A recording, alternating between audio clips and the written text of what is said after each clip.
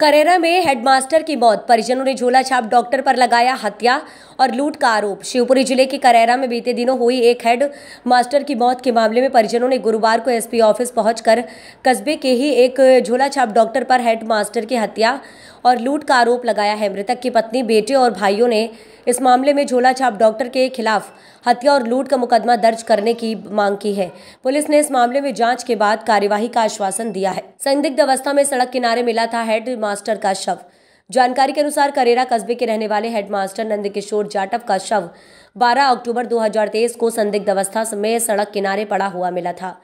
इस मामले में पुलिस ने मर्ग कायम का जाँच शुरू कर दी है। हेडमास्टर नंदकिशोर जाटव की मौत के मामले को लेकर आज परिजनों ने एसपी ऑफ़िस में शिकायत दर्ज कराते हुए बताया कि नंदकिशोर की हत्या झोला छाप डॉक्टर गजराज सिंह गौतम ने अपने दो साथियों के साथ मिलकर कर दी।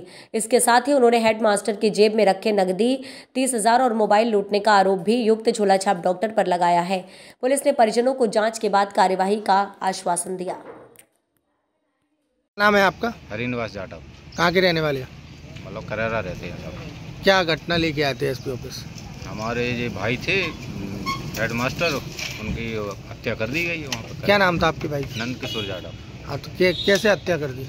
पता नहीं है सर वो तो घर पे जब बोल के गए थे कि डॉक्टर के बुला रहे हैं। किस काय के लिए बुला रहे हैं इलाज के लिए बुला रहे हैं कि वैसे काय का कौन से डॉक्टर?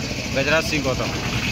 ये क्या प्राइवेट डॉक्टर है? हाँ प्राइवेट है झोला चाप डॉक्टर है। तो क्या मंडी के पास रहते हैं। अच्छा रहते हैं तो क्या घटना हुई थी पूरी? कहते रहे करीब सात बजे का टाइम है वो गए थे वहाँ पर। उसके बाद पता नहीं है ना उन्होंने फ़ोन लगाया।